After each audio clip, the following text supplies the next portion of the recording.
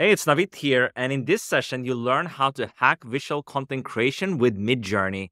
And I'm here with a true expert on this. His name is Rory Flynn. He's the co founder of Systematiq.ai. He's operationalized common AI tools for businesses and marketing teams uh, by injecting AI into workflows. He's amplified productivity and impact, streamlined finances, and revolutionized client experience and communication. And I know he has something really, really special prepared for us here. So I'm excited. I'm, we're going to dive right in. So warm welcome, Rory. Yeah, man. Thank you for having me. Uh, you know, definitely, definitely excited to get going on this, but we do have a lot of stuff to go through. So I'm just going to jump right in if that's cool.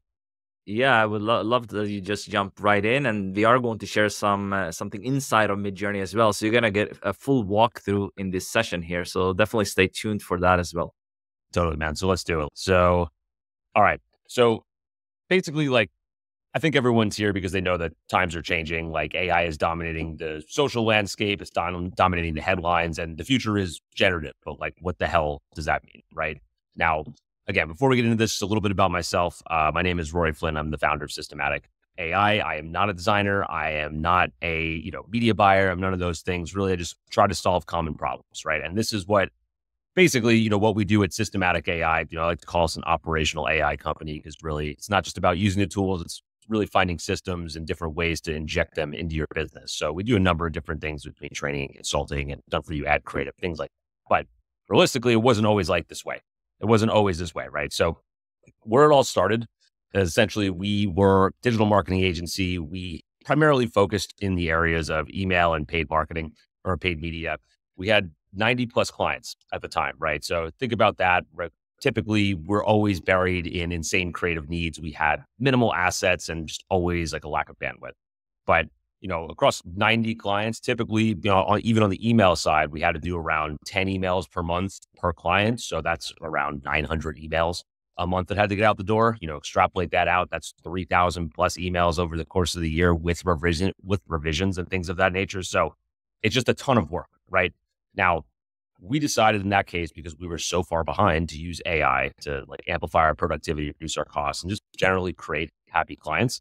Um, but again, like, and about me, and we're going to get into everything here, but like, really, who are you and like, what are your problems? You know, probably a solopreneur, entrepreneur, maybe you're a digital marketer, maybe you're a content creator, but you're probably using AI in some sort of fashion.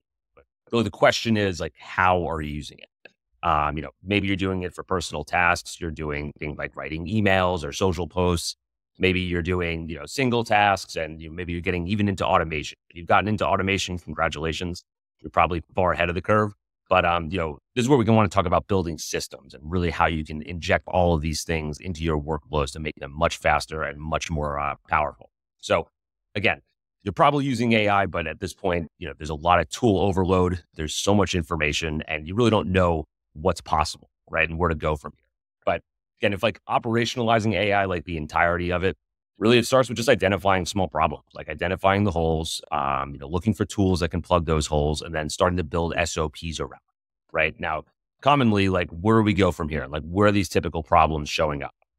Every day I see this because I've worked in the you know marketing industry for a long time, but there's like a creative issue because every month you need a ton of social posts. You need newsletters, ads, presentations, blog posts, things of that nature. It just never ends, right? So, you know, the average small business, typically what we're working with, um, you know, they're working with fatigued assets. They're working with a small variety of assets and just subpar like static imagery, right? It's not the best. Like you have some, but it's not a lot, and you always need more. So again, this problem with the static though, and these images, they're just limited quantity. There's just not a lot to go around. You know, they're time inefficient and they're also expensive to get that done. If you need to go do another photo shoot, again, the time between starting a photo shoot and getting to the finished product, that could be a month, two months. It's just a really long time to get new stuff, but you really always need new stuff, right? So let's solve this problem. We'll get right into this thing. So next 45 minutes, we're going to run through kind of how to juice your Midjourney, how to juice your creative with Midjourney, like asset hack your brand identity, build and AI systems, you know, that are built for scale, and then what the ROI potential looks like. So first, just a little bit about how we got here. Um, you know, the rise of AI definitely happened in 2023. Uh, ChatGPT, so we saw tools like ChatGPT, Midjourney, Stable Diffusion, DALL-E, like all of these started to come out and seemingly 10,000 other tools came out. But, you know, they were novel for a minute, but businesses essentially have started to leverage them and really start to push these tools. Now, I think this is kind of where we stand right now. This is just my own personal view of it, of how this adoption process has seemed to has seemed to go. Um, you know, first there's like stage one, like you discover these tools and you start testing them. Like, oh, I found ChatGPT. I'm going to write an email with it. Right. That's kind of where a lot of people started. Then it was you started to adopt it. Like, how can I get better at these tools and start to use them in my individual life? Like, can I use them for my own personalized, you know, emails or writing blog posts, whatnot? You know, stage three was more like operationalized, where people were all utilizing these tools in the, uh, you know, in the in the business maybe, so maybe there's five people on your team. You're all using the, like the tools, but you're all doing it a different way, and there's no real standard operating procedure, right? Stage four is basically when we start to systematize this stuff. When we build SOPs around the tools, around you know how to utilize them, guidelines, things of that nature. We start to string a couple different tools together. Then I think we're pushing closely towards stage five here, where we're going to start to customize and really build out these systems, right? That are more so tailored on building custom trained models, you know, automated agents doing multiple tasks. So that stuff's coming. Again, I don't even know where stage six goes from here, but I'm just kind of looking at the tea leaves as we unfold here. So kind of like when I look at this at the current stage, right, of like where everyone's at. You know, majority of us are probably in stage two or three, like closely pushing towards stage four. Um, but again, using tools, solving problems, operationalizing. But how do we know that some of these businesses are doing? Because it's happening and we're seeing it live, right? Like this is Suitsupply. Um, you know, luckily, before doing this presentation, I kind of came across these ads on my feed, and I said, "Look, you know, maybe these models are uh, are real, but the backgrounds are 100% AI, right? Like you can just look at this and say, great." You know, there's there's definitely those flowers. I don't know who's doing those photo shoots, even some of the details in the corners and things like that. They look like yarn. It's definitely AI, right? So the difficulty level on this stuff is low, but the effectiveness level is potentially really high. So, like, why would they do this? um, because realistically, it's on brand, right? Like it's visually unique and it's scalable. So that one background can turn into 50 backgrounds, and those six images of people can turn into 300 images of people. And that's all different ways that you can test and you know utilize different pieces of creative in your brand, right? So even you know some of these things are getting so good that you can look at down in the left hand corner over here. Thomas White says, you know, brilliant picture, great clothes, and of course the camel. Like the camel doesn't exist, right? So it can be it can be utilized in a brand sense. Now, let's talk about what's possible now, right? Like what we can do now. So these are just some examples of you know what we've done in the space. I'll be quite candid here. I do not work for Uber Eats as one of my clients. Mood was one of my clients, but we've done this for a few brands, especially on the advertising side. Um, there's still a stigma around AI 100%. They don't necessarily want people knowing they're using AI. So that's sort of a mock process in terms of what we've been able to do there and what kind of results we've been able to get. But just wanted to put that out there, you know, up front so that everyone knows. Um, now, something like Mood, right? This was a case study when they came to us and how we utilized AI with them. They came to us post launch, fairly post launch, not really anything further than a month or two, but they had a really aggressive ad budget. So they were going to spend very quickly and they needed to get assets quickly to get everything in their funnel so we could start to convert clients, right? now or convert customers. So big problem was, you know, they had a big audience and the sending volume was fairly large. So we were going to do anywhere from 20 to 25 flow emails to start this thing out, which if you're not familiar with email marketing, those are your automated backend, um, you know, email flows, welcome series, abandoned cart, browse abandoned, things like that. And then we had to do three to four campaign emails per week to keep up with the volume of traffic that we were getting inbound. So it's a lot of creative, right? And it's a long time to wait for that. So we utilize Midjourney just to give it more of a unique visual aesthetic. Because again, from email, it's a it's a medium, right? You cannot purchase directly off an email. You have to go from email to website. So again, how do we get people there in a very efficient fashion, but also pique their interest and catch their eye? So that's why we utilize Midjourney to basically give us a little bit more of a differentiating factor in the CBD or the uh, you know the Delta Eight space. So you know the results were pretty insane early on. You know, we increased click through rate by 0.38% in the first month, which, you know, if you work in email marketing, you know, is a fairly decent sized jump. So we saw it and we saw it happening quickly. So we were able to tailor more of what we were doing and be a little bit more specific, right? In the in essentially like the messages that we were sending because it didn't have to be just whatever stock imagery we had or whatever product imagery we had. We could tailor the image to the message. So the marketing personalization got a lot better. Now, this is pretty much as simple as it can get there. This is another one of our clients that we did this for, right? Like this is the easiest way to visualize it. Sometimes you don't need like this giant production from AI. Sometimes you just need a stock photo that'll work well within the marketing channel that you're utilizing. So here, basically, we just created. You know, we were trying to launch um, the YouTube channel for one of our clients, and basically all we needed was a picture of their YouTube video on a wall. So we created the image in Midjourney, we put it in Figma, and then we put it in the email template. Right? Pretty simple. This took all of maybe five minutes. So again, it doesn't have to be this major full on production. It can be something as simple as this. Just, you know, instead of going and looking through a stock image site for hours, you know, we can do this, right? Now, again, how can you do this? So we're going to get into now how to like really dive into Midjourney and utilize the tool super, super, super well.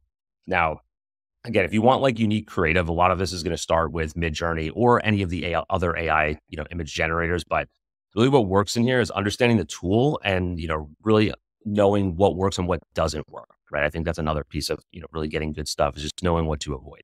But if you're not familiar with Midjourney, it's a powerful image generator. It's a super creative tool. I tend to think it has some of the best aesthetics of AI.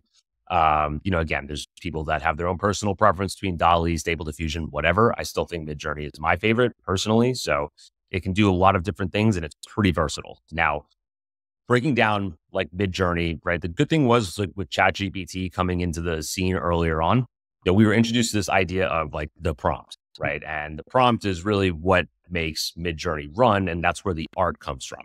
Now, typically I like to look at prompting in a very specific fashion, like pretty simple equation here, like clear and direct prompts equal clear and direct output, ambiguous prompts equal ambiguous output, meaning that the less detail you put in your prompt, the more Midjourney takes over and takes like its creative liberty right? So if you just put like dog in a park, like you'll get a dog in a park, but you might not have control over anything else. But if you're clear and direct and you want to go really deep into each little aspect of your prompt, it's going to follow you more closely and you're going to get something that's closer to your vision. So, you know, all this stuff is cool, right? Like you can do futuristic living rooms and aliens and spaceships and stuff. But like a lot of times for marketers, we need stuff that just looks real. I mean, that's really at the end of the day what it is. So, you know, for us, typically the best way to trigger Midjourney into a let's call it a photorealistic mindset is to use photography terminology. That's what i've always found has worked the best um, you know keeping it very consistent in that sense and also priming it to be more photorealistic right? So what does that mean? Um, essentially we're using photorealistic elements here to really go and amplify these prompts and we'll use things like subject and action you know environment composition and shot type mood and emotion. Specific cameras and lenses can work really well too. If you're looking just to, again, trigger Midjourney into a photorealistic mindset, you know, using things like film stock and the lighting and the color scheme, details and modifiers, all this stuff can be useful. You don't need to use every single piece of this. Um, sometimes you just need a couple different things. But typically, if you want to build a structure and get basically really good at prompting and prompting quickly, it's nice to have a format and a formula so that you can just plug this stuff in and go. Now, on the right over here, this is a cheat sheet. I'm going to link this at the back end of the presentation so you guys have all the functionality that you need um, to utilize the tool. So, first, we're just going to look at like a simple prompt formula. Again, like this is how we can create the image and how to think about it. Like, try to break it down into visual building blocks and then like build it back up into an image, right? So, typically, when I'm looking at a prompt formula, look at something like a photo type. Photo type could be anything from like a close up to a long shot to, you know, editorial photography to street photography, whatever that might be. Um, then the subject and action, who the person is, what they're doing, the environment where it's taking place, color scheme, like a camera lens film, like it doesn't have to be in there every time, but sometimes I like to put it in there. Lighting, composition, additional details, XYZ. So again, thinking about it like this, how you're going to build your picture, it all starts with words, right? And we're utilizing tokens here to get to the end result. Now, the other thing that's important with this is prompt structure, because uh, Midjourney tends to read their prompts from left to right. And what that means is, I think when you put something in the beginning of the prompt, it holds more weight than if you put something at the end. So essentially, like if something's really important to you, put it in the front. If something is not important to you, put it in the back, right? Because you will see here in the next couple slides, and we'll go through this. Like this is a standard prompt example, right?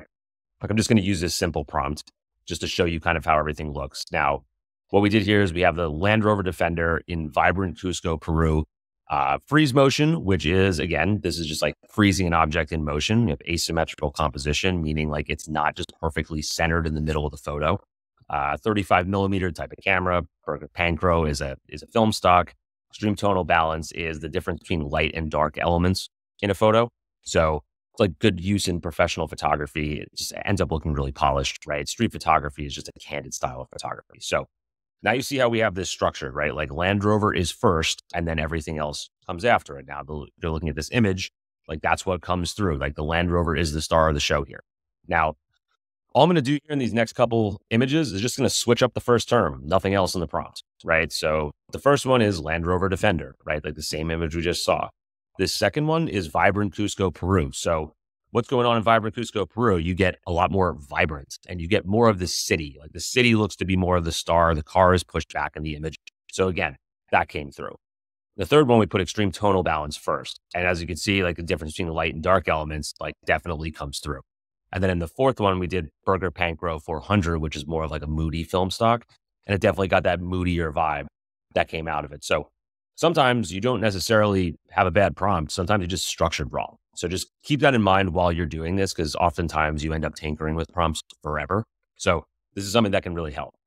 Now, let's get a little bit more detailed because this is where I think Midjourney version six has gotten a lot better. We've talked a lot about, you know, there's been a lot of conversation about Midjourney's coherence versus something like DALL-E or versus some of these other platforms, but we've been able to get really detailed. And again, this is pushing it to the extreme so you can see how this all works. Now, this is a really detailed prompt formula. You do not have to use everything here, but if you want to have a very singular vision and you want to have that executed, you can break it down this granularly and you can see how each one of these things work, right? So here I'm doing like photo type, the subject, but I'm also going into the subject position, right? Like, is the person laying down? Are they facing left? Are they facing right? That can, that, you know, can be controlled. The subject focus, like where are they in the depth of the photo? Are they in the foreground? Are they in the midground? Are they in the background? Are they in focus? Are they out of focus? Um, you know, what are they wearing specifically? You can do all of that, like, you know, what kind of t-shirt they're wearing, headband, lipstick, things like that. You know, environment, of course. Again, talking about the location where it is, same thing with the environment focus. Like, where is that? Where's that depth? Is it is it blurred? Is it crisp? What do you want? You just tell it and explain it. And then like environment description, emotion, lighting, tone, like even time of day, textures, image type. So like again, think about when you're building a scene or telling a story. This is kind of how like a, a um, like a screenplay writer would give this to a director, right? Like you're giving them every little piece so they can just go and capture the shot. Now, again, when we do a longer prompt like that, I'm not going to sit here and read this all out for you guys because it's kind of boring. But at the same time, you know, we hit on all these different, uh, you know, pieces of the prompt, like, you know, satisfied Brazilian woman laying in bed with a cigarette, exhaling, facing right, you know, medium shot, editorial, sharp focus, you know, oversized blue shirt, headband, lipstick. Like when you look at all this, it all comes out because we gave it that direction. Um, you know, even something as simple as light interacting with smoke, like you see it right in the photo there. So when you think about prompting, right, like that's you can be generic and you can be, you know, super light in your prompt. You don't have to go heavy like this, but if you want it, it can do it. You just have to be very descriptive with it. And typically when I'm prompting like this, try to cut the fluff words out. You know, longer sentences. You know, there's a lot of generators out there like ChatGPT and whatnot. That'll, that'll get you there, but a lot of times you're just using you're just using and wasting tokens and fluff words in there that don't mean anything. So again, just like use the most powerful words possible. Um, you know, when you're doing this, maybe two to three words per description here, and you're going to get something very close to what you want. Now, even something as detailed as this, right? Like when you want to iterate it, once you've built something out like this prompt, all you have to do is maybe change one of these elements. So we think about breaking all that down, right? I go like if you look at that prompt specifically, maybe the the subject position I had them, you know, laying down facing right. You know, now I just want them maybe sitting in the center of the frame, right? Like all I did was change center of image right down there, right? So all of that, all that wording, and this is all I changed, and that's what happened. So when you're iterating, think about that's how, you know, if you like something or you don't like something, that's as easy as it can be. You don't have to go and change the whole prompt. So I think that's pretty useful for people that are using this, you know, for branding purposes. Now, this is what is also very useful for doing this, you know, for branding purposes or keeping a very consistent style or look across your images. You want this because when you do this again, like you, you don't want to have your images all over the place. If you're trying to keep a look and feel, whether it's for your social media, for your website, for your blog, for, uh, even like do YouTube videos, things like that, right? You want it all to look the same and you want it to be on brand. So, you know, something like this, like you see over here on the right, I basically put together this little storyboard, you know, of a surfer in you know, Antarctica or Iceland, whatever I have here. Um, really, all I did was thinking about the visual building blocks, right? Like we have all the details about, you know, the background. We have the black mountains, rolling ocean, dark atmosphere, muted colors, like everything that's in white over here on the left. That's what I'm just going to keep for every single prompt. Like I don't even need to change that. It's just really all you need to do is change the shot type, the subject, and the details, like of what they're doing, who it is. So, you know, the difference between close up of a surfer with frost on his face versus, you know, close up of a penguin on the beach. That's all that I changed in this prompt. Everything else on the back end stayed the same. So, really, again, that's how you can build out this visual signature and like this visual identity that keeps you consistent so you can stay on brand. So, that's just uh you know again these are some of the other example outputs. It's really no you know there's really no end in sight to what you can do. I just tried to pick some random ones from my library just so everyone can get an idea. But again now moving into more of like hacking this this tool and what you can actually do with it and why it can be so powerful. Because at the end of the day like as marketers right like we just need to extrapolate a lot of things and just we need a lot of volume so how do we take some of our own brand images like let's say our own brand images and turn them into infinite variations of those brand images. So they even stay close, but you can utilize them many times, right? So what is asset hacking? Essentially, it's reverse engineering an image, and then like basically we're using it for consistent, uh, you know, brand relevance. But again, I always say to disclaimer, like use this on your own brands, your own personal brands, whatnot. Please do not go and do this for every other brand, please. Um, but like here's that basic idea. So we have like our brand assets, right? Then typically from our brand assets, what we're doing is we're breaking them down into those visual building blocks we're talking about. So once we have those building blocks, just like in the consistent styles we talked about, um, then we can basically have infinite iteration of images. So essentially, once you have those building blocks down, then we can rerun these prompts a million times. We can, you know, change the subject, change the photo type, change the environment, as long as the image look and feel is good, you know, then we have a branded, consistent set of imagery. So typically what this process looks like, essentially like you organize your brand assets, then you run them through the describe function in Midjourney. Then I'm using things like ChatGPT to kind of tune those prompts up. Then we'll go an image prompt in Midjourney, and then we'll iterate in Midjourney. So it's a little bit of a two-step process between ChatGPT and Midjourney. Now, here's kind of we're going to go through this process so you guys can see how this works. Um, you know, typically you know, I, I want to use something that's a little bit more complex. Like Red Bull to me to have very strong imagery. Like it's going to work very well with this. Same thing with Apple, Nike, you know, anything that's got a really strong brand presence, a brand like aesthetic. So I wanted to use them because Red Bull's a little bit difficult, right? There's a lot of decals, it's high action shots. It's not, you know, super, it's not just like pictures of faces, right? So, um, you know, let's see how we can do this. So essentially what we're going to do is we're going to take this, this one image here, which is the F1 car, then we're going to turn it into a thousand other images, right?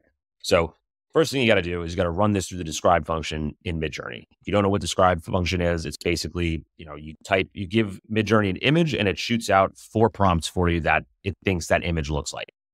From there, really how you do that is you type in backslash describe on the, uh, on Discord and you just paste the image and you hit enter go and then everything happens from there. Now, if you're on the alpha site now, it's pretty simple. You're just going to upload an image and you can be a little bit more customized in building this out. But, you know, we'll utilize Discord for now because that's still what's going on for majority of people. So again, when I run that through Describe, this is what I get, right? Like one, two, three, four, those are the four prompts that we ran.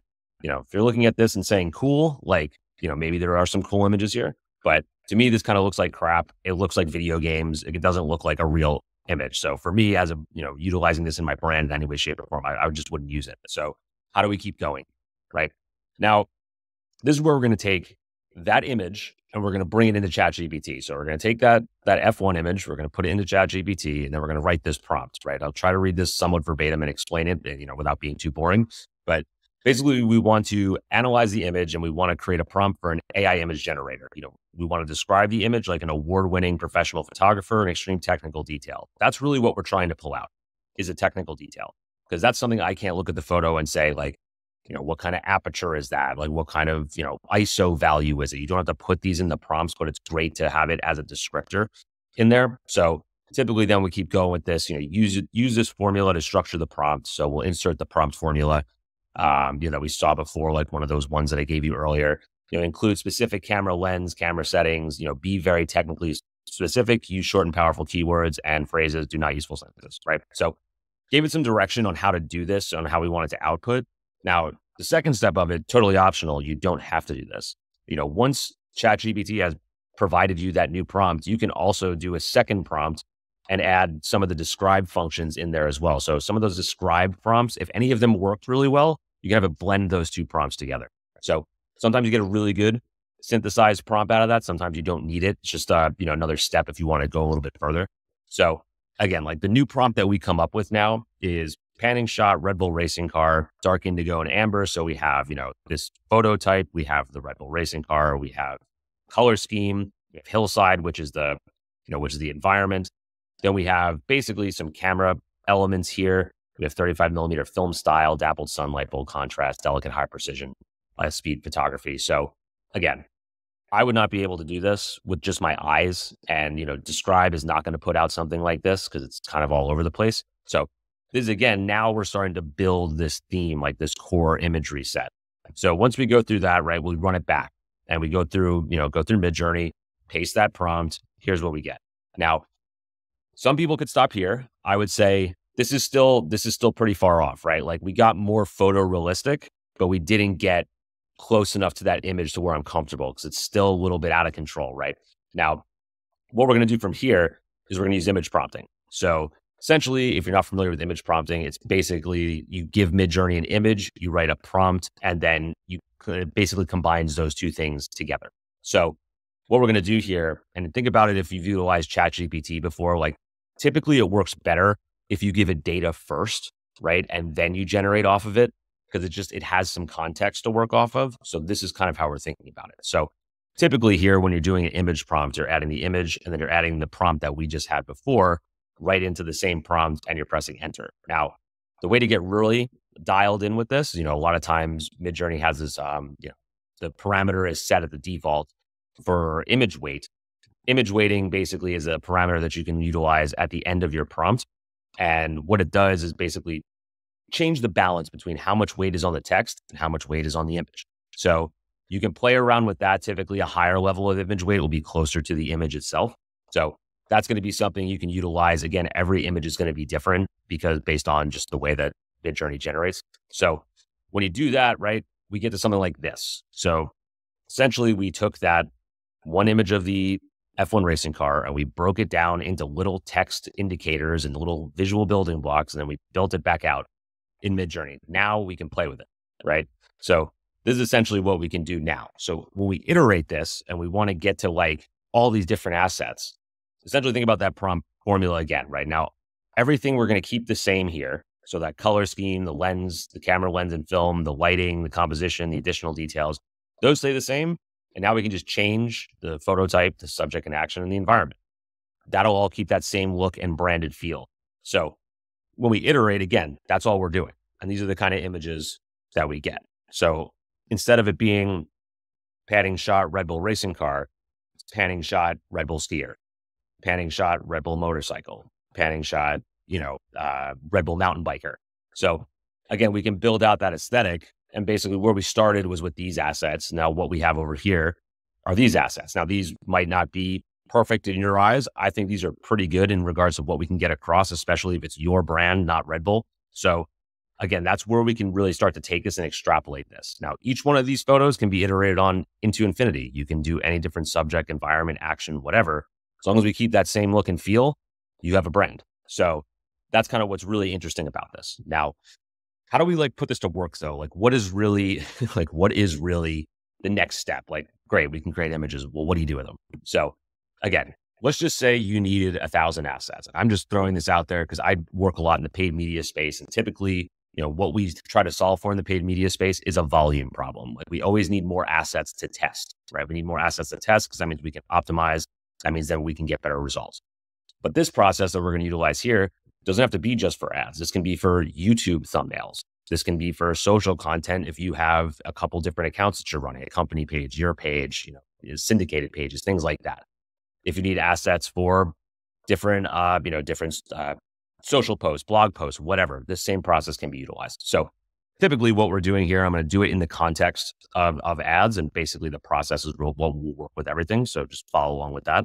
Um, really what we're going to do here is we need five tools. So you need Midjourney, ChatGPT, Figma. Uh, if you're not familiar with Figma, it's web-based and a uh, desktop-based design app.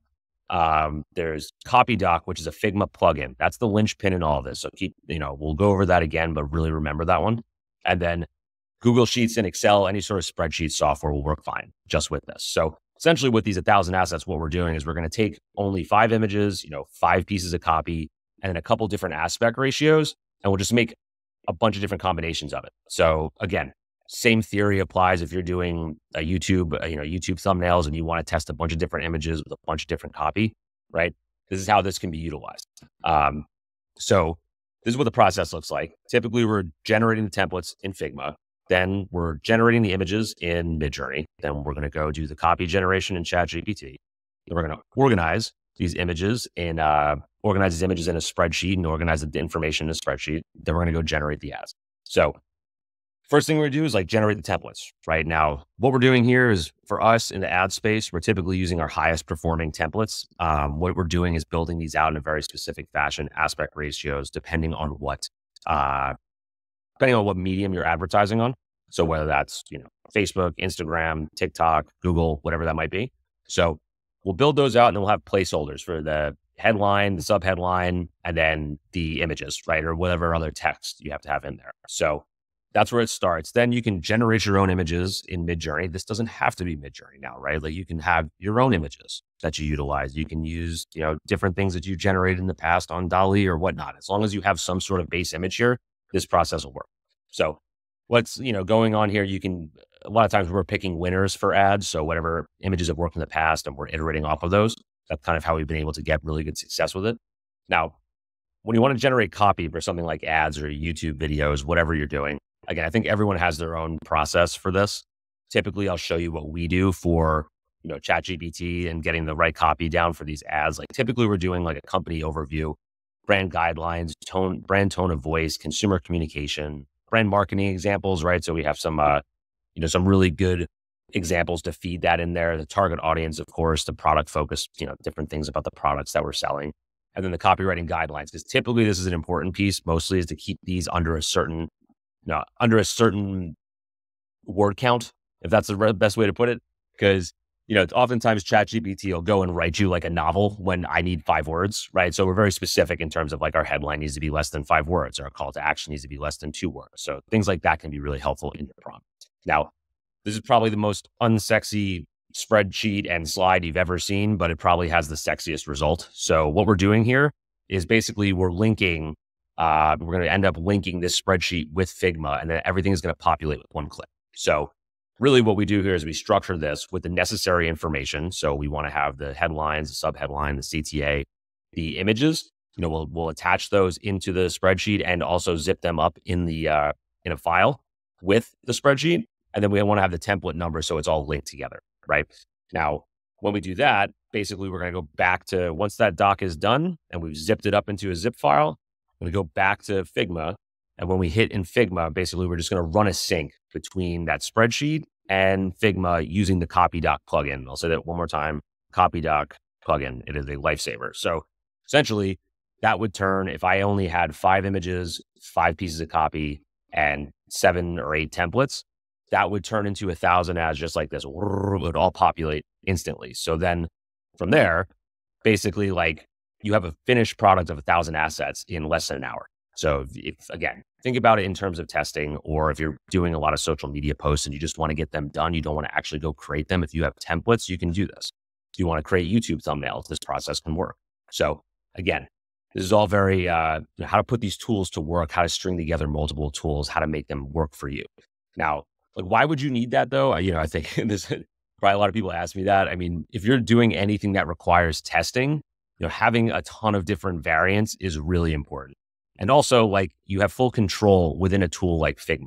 So you can then go and edit this stuff post production. So then maybe, you know, you want to go change like one piece of copy or you want to adjust an image or you want to try something else. You now have full editable capabilities in there. And just saves a ton of time. Like if I was to do a thousand ads and copy paste that over and over and over again, I mean, that I would also like probably want to blow my brains out. So, I mean, you know, that also, if you're working with a designer, that's going to save their time. So free them up on other things that they can be doing instead of just copy pasting asset over asset over asset. So we, again, considering going through this, like what are some other things to look at? There's another tool that I find very helpful if you're going to utilize this in like a commercial setting, right? So really what is this? This is Magnific. It's an AI upscaler, but at the end of the day, like it adds subtle details that make it look more lifelike. So really what it does is, you know, it also it upscales your image, but it will go and add different, you know, characteristics to someone's face, right? It'll add some some lines, it'll add some shadows, it'll add a little bit of like blemish, maybe some bags under the eye. So it just makes things look more real. So it doesn't look like on this left the left side of the image's face is polished, right? Like it's it's very like smooth. Everything is almost perfect. On the right, it adds a little bit more human elements to it, like the skin wrinkles. There's, you know, a couple different blotches on the face. That's good to me. Your uh, doesn't have to be your cup of tea, but for me, like I want things to look real and indistinguishable. So the more real a person's face looks like that, the better it can be. Now, the other thing I that I talk about, of course, is the ethics and legal side of this, right? So if you're doing this for yourself, I mean, again, you are personally responsible for what you're doing. But if you're doing this for clients or for anyone else, like you just have to have the conversation. It has to be an open discussion that you're utilizing, um, that you're utilizing AI in the work, right? Like you have to make sure everyone's comfortable with that. It's the first thing I say. But like the other thing to understand is typically what's going on, you know, in the copyright situation. So in the US, which is what I know the best because that's where I am, um, essentially what's going on here is anything that's fully created by AI cannot be copyrighted. So that's my understanding of it, meaning whatever is going to be produced by Midjourney or whatever and put out for, you know, commercial purposes, number one, anyone else can use it because it's technically your own personal stock photography that now everyone has access to. So just consider that, right? Like if you're very brand conscious and you don't want people taking your stuff, just know that it, you know, even if they don't know it's AI, like they could still do it and there's really nothing you can do about it. So again, think about it like that. But also, you know, from a Midjourney's copyright perspective, right? Like you're they're not liable for whatever you create. So the thing is here that this is gonna this is what can happen. So I just want everyone to know this too. Like basically this these two images on the right, like if you're not familiar with them, it's a famous photo from about the 1980s. I think it was a National Geographic cover and it won a ton of awards. It was like one of these visceral photos. Now, all I did to test this, and this was a while back, so Midjourney has gotten better at this. But what I did was I really just created a prompt. I went and looked up the photo. I got the technical details, like what camera was utilized and you know what type of aperture, things like that. Plugged that into the prompt, ran this first shot, came out almost exactly the same. Right. Everything is pretty, pretty damn close. Like I look at the I look at her shoulder and there's even like this little green patch over here. Simple things like that. The background. Now, I didn't even use an image prompt on this. So I didn't use an image prompt to influence this. This was just a straight text. So just know that this can happen. And basically, if you're generating something on here, we don't know how these images were trained, especially on tools like Midjourney. So again, there's no way to know where they're coming from, what they're pulling from, how they're generating. So you got to be careful. And some of the things I do here for this, number one is I reverse image search basically everything that I'm putting out for commercial purposes, ads, anything that's on a website, whatever. So utilizing tools like DupliChecker, there's a million reverse image searchers now, but you'll do it oftentimes and you'll find a couple images that you're like, oh, I see where this pulled from or what this generated from. So just know that because all you have to do is then go iterate it and you don't have to have that same image. You can do it a thousand times. Just don't do anything that's close. Don't expose yourself there.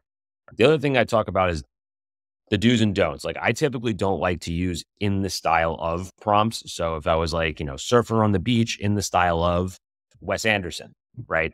People uh, preach a lot of this on on you know social media and on YouTube and whatnot. I, I don't think it's good if you're going to utilize it for commercial work because if you're going to work backwards, like basically if someone was you know, getting you into litigation, going backwards and they went back to the end result, which was your prompt and it said in the style of X person, right? Like think about that. So I typically don't do any sort of in the style of. I don't like to use names in in the prompts. Now, the other thing you can utilize there instead of doing that is actually going to learn it, right? Like if you like Wes Anderson's composition style, right? Go to go to ChatGPT and you say, you know, or his image style, I'm sorry. Go, what is, you know, what type of composition does he use? What type of color scheme does he use? What type of equipment does he use? And then you can build out those visual building blocks that we were talking about. And you can create in his style, but you learned, right? Like you didn't just go and blatantly take. So I think that's uh, one way to think about it, right? And there's a lot of things that this is going to progress very quickly. I think, you know, as we get to, you know, see really more of where these tools can go. So, you know, I think it's something to keep an eye on and always be cognizant of what's going on in this space. Now, here's, you know, the, the, the interesting part. I'm sure a lot of people are interested in what these kind of results look like, right? So, what we've seen in, we worked on this, we did 114 projects in November with AI. And on the low end, which is really interesting part of it, was still 30% reduction in time spent on these projects. So think about creating ad sets in, you know, in the thousands for brands and things of that nature, right? On the high end, it was an 85% reduction in hours spent. We were really focused on tracking this meticulously because at the end of the day, if it doesn't save time and it doesn't save money, like what the hell is it? Right. So we are very, very diligent and meticulous in tracking that. Cause again, like wouldn't be telling you this if it wasn't, you know, if it wasn't a use for a time saving purpose or some sort of amplification of your process. So again, that's where it becomes really, really powerful. And again, the ads that we're running had 100% CSAT positive scores. So again, they're they're they're winning, they're working, they're generating dollars, and that's the thing that's really keeping you know this whole train going. Now, really, at the end of the day, what did it? What did AI do? I mean, it amplified our productivity, it reduced our costs, and it was you know, it's been in less time. So that's kind of the idea and the theme of this all. And again, even with a process, like I talked about with CopyDoc, that's less about just AI than it is about having an actual process, right? I mean, something like that, that singular process, you don't have to do a thousand ads generated from scratch. Maybe you have a winning ad and you want to turn it into 50 more. You have a winning image and you just want to change the copy. You have 50 copy variations. Same theory applies with the YouTube, uh, YouTube um, thumbnails, right? Again, those, you have a winning image, you want to test some different copy, or you have a winning image style and you want to keep going with that same process. So again, all these things are going to be here to help and it's all going to amplify, of course, over the coming months with all these new tools and developments. So now this is a little gift from me to you. Um, basically, it's QR code.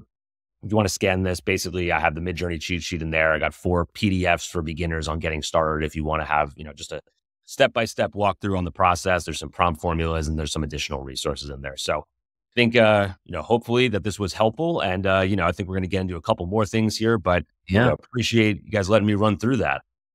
Yeah we have some more stuff. This was really valuable. Hopefully you guys uh have gotten some value from uh, rory's presentation so far but we actually we will dive into midjourney now to show you a little bit in real time and uh, rory is really good at that but of course with the live demos with this stuff sometimes you have to run it twice as we have done previously but yeah, if you want to uh, go through a few examples of what uh, this can look like, maybe something photorealistic, maybe something that uh, like a thumbnail or something that people actually can implement as a creator. Totally. So I think you know what's what's useful here, right? Is like if we're all trying to stay on brand and we want to have this like photo realistic realistic look and feel, it's let's talk about like kind of what I did with the consistent styling because I think that's what a lot of people need. Is I need something in this style, but I need it for a ton of different things. So like, yeah. let's take a look at that. I'll show you kind of what I did there, um, just to give you like a good understanding. Now, let me share my screen back again. Here we go. So, really, like again, if I wanted to look up these, you know, the surfer picture, right? Let's go back and find some of these images here from the beginning. Um, so yeah, so we have like this, right? Like this is basically if this is our brand colors, like you know, maybe we have a dark atmosphere. This is kind of what we're trying to get to essentially on this is the alpha site, by the way. This is going to be live for everyone probably in the next couple weeks or so. Um, but again, it's very easy to prompt in here and very similar to what happens in Discord, just a little bit different. So again, like when we look at this, we want to keep everything the same. We want to keep all of these images, you know, really close. So when we do this prompt, right, we look at this prompt, um, you know, close up surfer wearing a full body wetsuit covered in frost, you know, frozen mustache. So that's like our, our shot type, our subject, some details. Then we just have like the back end of this, which is this, you know, minimalistic Icelandic landscape. You know, high angle, but that shouldn't be in there. That's actually a mistake. So again, everyone is getting to see what this looks like in real time. We're not all perfect. So Black Mountains, yeah. uh, rolling ocean landscape, dark atmosphere, muted colors, sharp resolution, color contrast, right?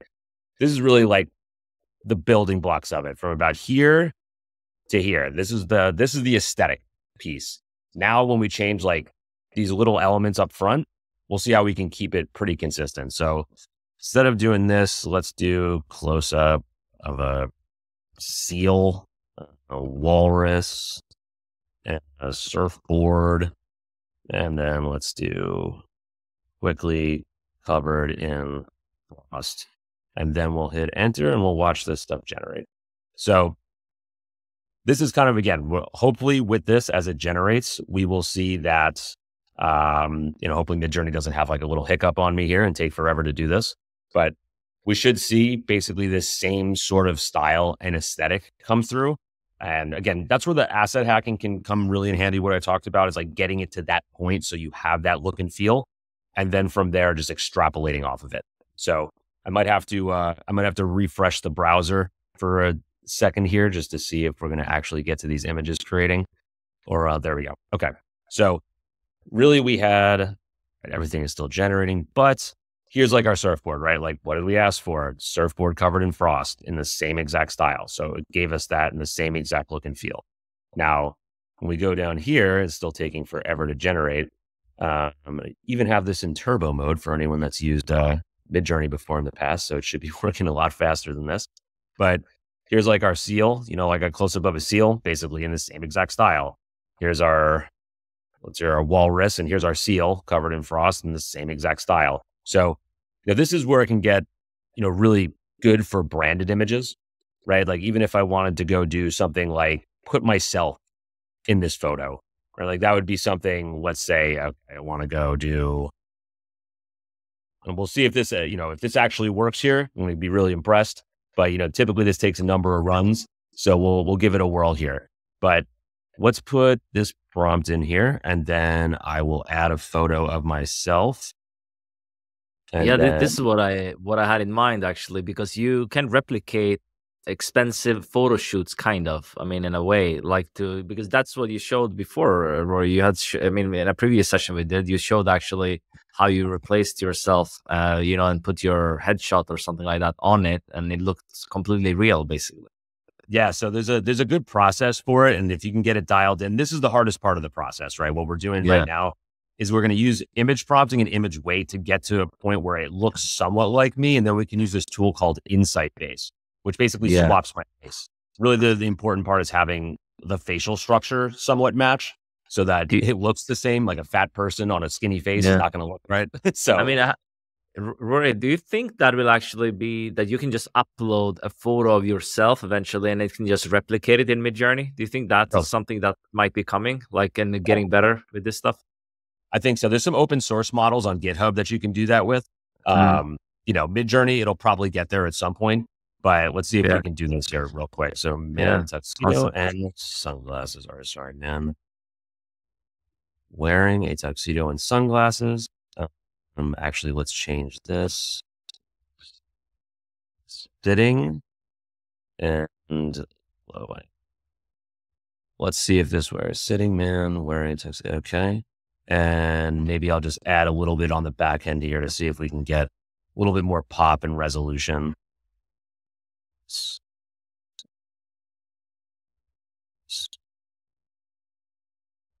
And then what we're going to do here, so I'm going to add some image weights. And what I'm doing with these little brackets here, this is called permutation prompting. So instead of having to go and prompt this each individual time, if you put these uh, curly braces on the end of it, essentially it'll just generate all those prompts individually. So typically I'll do like 0.5 here, six, seven, eight, nine, and then one. And then we'll see if this will actually work. Because sometimes, you know, this is this is a pretty testy uh, pretty testy process on here. Now, once these generate, it might take a minute. Essentially, again, what I'm looking for is, or if I should describe this a little bit better, the image weight uh, parameter on the low end is 0.25, on the high end is two. Those are the values, right? Now, on 2.5 or 0.25, that's going to be closer to the text prompt. So what I wrote in the text bar.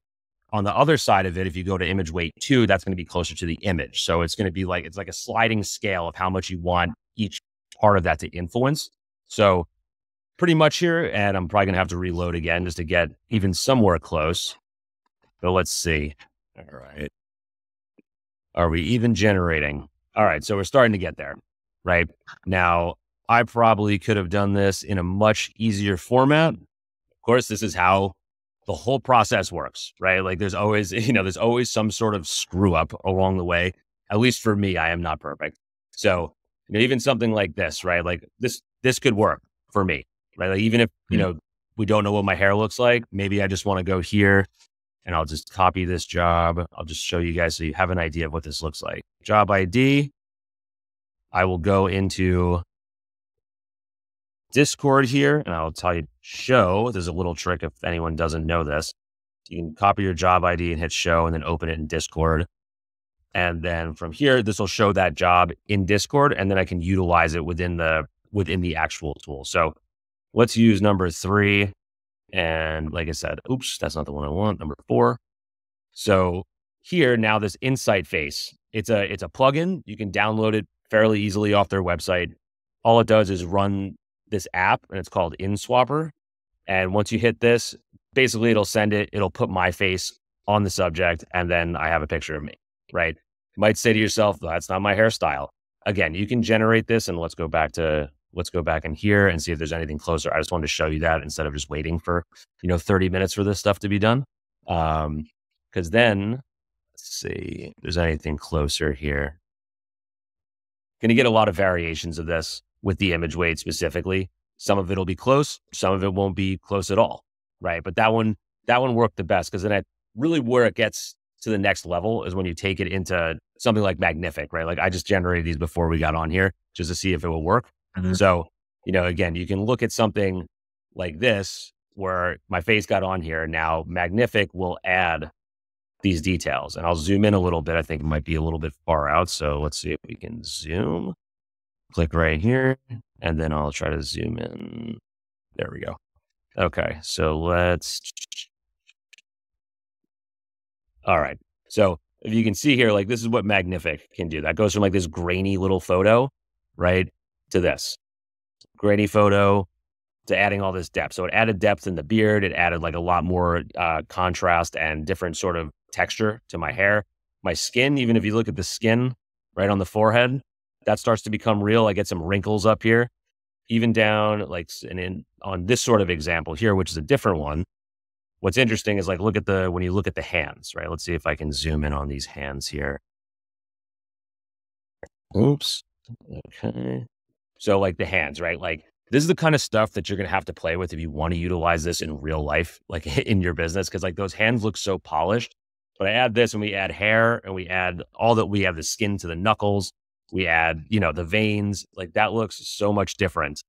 Just that little element. And if I can even zoom in a little bit over here, let's see. I'll go in a little bit further so we can see this thing. Sorry, it's a little bit, this one's a little bit hard to control. so yeah, so this this hmm. hand, I mean, that looks totally different, right? And that's the that's the nice thing about tools like these. So I mean, yeah, that's that's pretty simple in terms they of how you... so fast, Rory, in terms of the speed of uh, improvement. Like the hands in Midjourney, just just a few months ago were kind of horrendous. They were, didn't look anything like this, and now it's actually pretty good. Would you say it's nailing hands and stuff like that more these days, like with V6? Yeah. Definitely. And I think you have to be you have to be very consistent about what you want. Oftentimes if you're there's a little trick that I've used a lot of times when I can't, you know, regenerate the hands. Often now with the vary region function, you can just paint over the hand. Uh, mm-hmm. you know, you can highlight the hand and just have it regenerate until it gets it right. There's a few other yeah. things you can do is utilizing image prompts within uh, you know, the vary region to get that hand if it's bad. But I, you know, luckily enough, I think I have one in here that is, let's see, I'm going to scroll down where I was just I was testing the hand theory. I wanted to see how how many hands I could get in an image, right? so we did pretty good, right? Like you can do it. Like everyone's wow. did Midjourney, you know, Midjourney figure out hands yet? I mean, look, I mean, we have one, two, three, four, five hands in here. Like this was a this was a concept I was doing for a skincare brand, right? Like how could we actually figure this out? So, you know, it's possible, right? And this tool, like tools like this, again, it'll make it look even more real. Like that was, I had to generate it super low res to get the hands right. And then I can bring it up mm. more high res with a tool like this. Uh, So yeah. there's a lot of things, right? Like even your brand photography that we have somewhere in here, right? Like this is a, you look at this face, again, this goes from polished to almost looking real, right? Polished yeah. to real. So, you know, tools like this, it's just insane. The level of development. Um, and yeah get back out of here. So there we go. That was no. This this is awesome. Do you have any? Do you have any beginner tips for people who are just getting started with the AI image generation tools? Of course, they can use uh, what's inside ChatGPT with DALL-E 3, but if they want to take something more advanced, uh, what do you have to say there to get started with Midjourney? Yeah, I think Midjourney really like if there's one thing I can say with it is to go into it having fun first. Like this is a really dumb thing to say, but if you go in there like wanting to create things that aren't for your brand, and you just want to have fun, you'll end up learning more than if you're just like, I need this image for my brand right now. Um, but typically learning the tool, like learning the tool itself, like the functionality of the tool will get you so much better than like just trying to prompt or like copy prompts from people. So you go in there and you understand, like have a little bit of prompt structure, right? Like what I talked about before. Then essentially from there, like learning what the parameters do. So what does a you know what does the aspect ratio parameter do? What does the stylized parameter do? What does chaos do? Those things because oftentimes you can switch up your image with just a, a parameter like a lot, like a big variation. So you can get to these different things because I think people just get lost in tinkering with the prompts, where it's just like, oh, maybe it's this word, maybe it's this word. Sometimes it's just a parameter, or sometimes it's the structure. So knowing the tool really well and what it can do, because then you can get creative with it. So that's kind of my my advice. And what uh, mistakes do you see people are making? Are there any mistakes you can make, or is just a creative outlet? Like, what what do you see? Like, if some don't like some, I mean, you covered it a little bit in your presentation, but is there anything that you see like you absolutely don't do this when it comes to Midjourney, and then you will kind of fail with this? I think it's knowing that there's there's some things that just are like never going to generate consistently. Like if you just want pictures of hands, I mean, like just go somewhere else. You know, like that's never going to be uh, that's never going to be the best spot for it. But there's things that it has problems with, like stairs. I always tend to find it has a mm-hmm. problem with stairs, like getting stairs right. Um, you know, different like reflections. Reflections are really hard to get it perfect, like a nailed reflection of like someone's face and it being reflected perfectly has a problem with right. that. So a lot of things that typical artists have problems with, right? Artists have a really hard time drawing hands and have a really hard time drawing eyes. Like, you know, hand, eyes in Midjourney tend to be really good, but I mean, you know, it's, it's hard. So yeah, those are things. Those are things I wouldn't say stay away from. Just be cognizant of because if you're just trying to generate that, that and also yeah. having too many too many subjects in your photo. So meaning, I want Michael Jordan and Gandhi and Barack Obama and Donald Trump like playing in a basketball game with the sun, you know, exploding. It's like when you have too mm-hmm. much of that, it's never going to generate the right way, you know. So it's yeah. uh, keep it keep it simple. Keep your focus simple. Um, and then you can expand out on it the same way that we talked about iterating and going further. So that's kind of why. Yeah. yeah.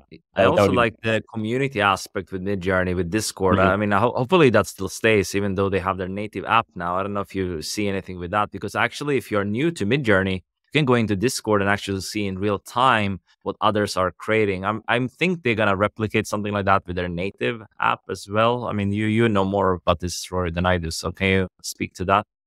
Yeah, I hope the I really hope Discord sticks around. Like I'm a yeah. I, I'm a fan of Discord because I love the community. And the great thing about Midjourney and what they do on their Discord is they they take the feedback verbatim. Like they'll ask questions, they'll you'll get to have a voice in like the development of stuff. So they'll put out polls, you get to vote, then they'll share them on their office hours. You know, so I really think they're going to stick around there. Um, okay.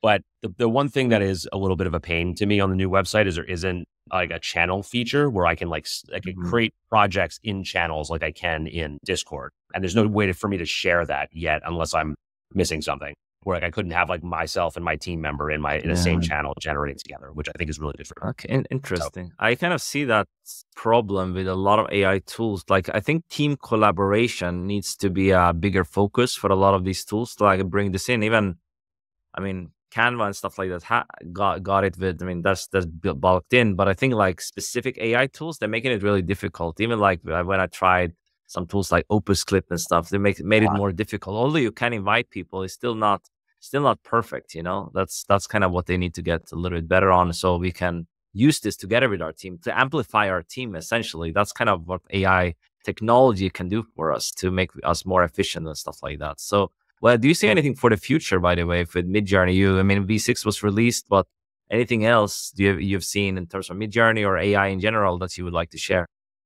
Yeah, so I think you know Midjourney is really going to push, you know, to like I said, to fix some of the things that people want, right? I think a lot of people want consistent characters, so that's mm-hmm. really hard to do. Just a caveat again from you know anyone that's tried this before.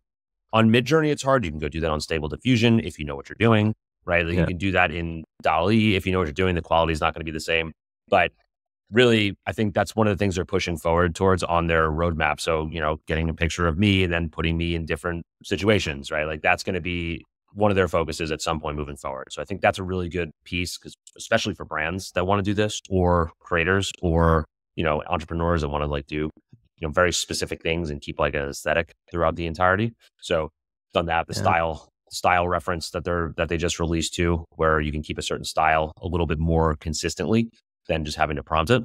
So mm-hmm. yeah, that stuff's that stuff's really really interesting. Right. Something I thought of like you imagine like in their native app being able to add your color scheme or something like that into that. That would be really cool. So you don't even need it's kind of like custom instructions a little bit in ChatGPT, but it's kind of saved. I think that would be extremely cool. I don't know if that's something that you've seen or that's something you have seen others uh, other wish for. I mean, I I would love that.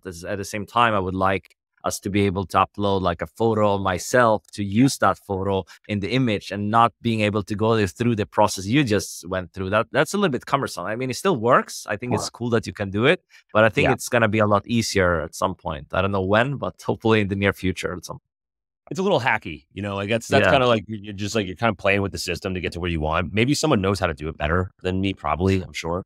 But yeah, let us know if you know better than the ma- Midjourney master. Let us know in the comments. But you know, I, I think this has been really valuable. I mean, I really enjoyed the session. Do you have any final words of wisdom uh, regarding AI, Midjourney, anything else you'd like to share here, and also where people can connect more with you, Rory? Yeah, man. I think the the one thing I will say is like I, I don't want to be all doom and gloom about this stuff, right? I think a lot of people there's a lot of like doom and gloom, like AI is going to take everyone's job and whatnot. But really, what it is is just staying up with these tools as they develop. I think this is the easiest way to get into a better position. You know, my analogy is always if you gave an, an iPhone to your grandparents and said, learn it, they're probably like, this is hieroglyphics, right? Like, I don't even know what this is. We've known it because we've had every iteration of it. We can pick it up and use it today. Same theory applies with these tools, right? It's going to be easier to learn them when they suck. And when they get better, you know, you're going to be a professional with them. So learn it as it develops instead of trying to get it all when it's like the iPhone now, like and then trying to figure that out. So that's my little word of wisdom is just like stay up to date, use them, test them, try to put it, you know, try to implement them. But yeah, other than that, like I'm on, uh, you know, I'm going to be on LinkedIn. And if anyone wants to chat, I'm always on LinkedIn. I'm on Twitter, uh, you know, roar underscore fly there. But yeah, that's where I hang out. And if anyone has questions, you know, always, always down to chat and see what, you know, see what we can come up with. Yeah, link up the resource uh, Rory mentioned as well in the QR code. But I'm, I drop a link in the description and also to where you can connect more with Rory on LinkedIn. Definitely comment below if you have any takeaways from this session, anything you'd like us to cover more in the future. And subscribe to the channel and like the video if you want more like this. And I'll see you in the next one. Ciao for now. Bye.